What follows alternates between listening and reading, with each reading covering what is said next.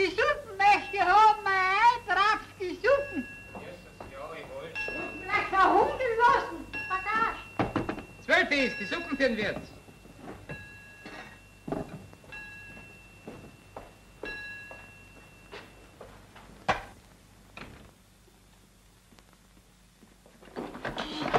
Der Alte ist doch da. Der schlaft wie ein Hirsch.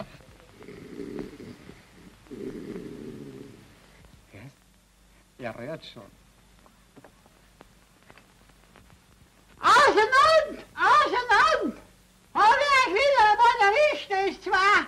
Marianne! Marianne! Ja, wo brennt's denn? Anpustelt haben sie sich schon wieder. Anpustelt, ich hab's gesehen. Habe ich dir das nicht oft genug verboten? Bist du endlich Vernunft annehmen? Der Vernunft mehr. Da fällt hinter der Plafond runter.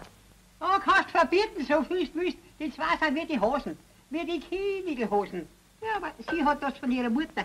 Weil du warst ja auch so eine Kinigelhose. Ach, gib schon Ruhe. Und wenn ihr zwei Karu gibt, dann werde ich schon noch andere Mittel finden. Gegen Liebe gibt's keine Mittel. Und die lieb hat das Mädel. Mit der Liebe allein ist nichts getan. Verliebt sein ist keine Kunst.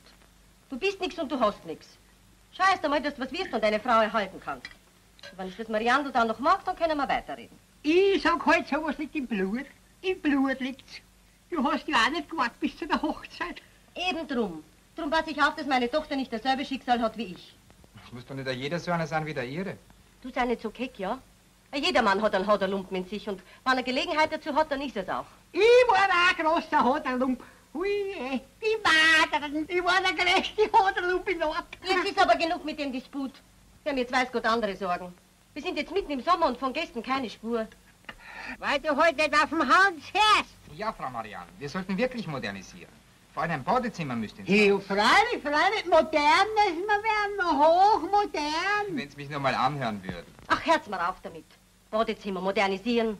So ein Umbau heute das alte Haus ja gar nicht mehr, mehr aus. Unsere Gäste wollen Ruhe und ein anständiges Essen.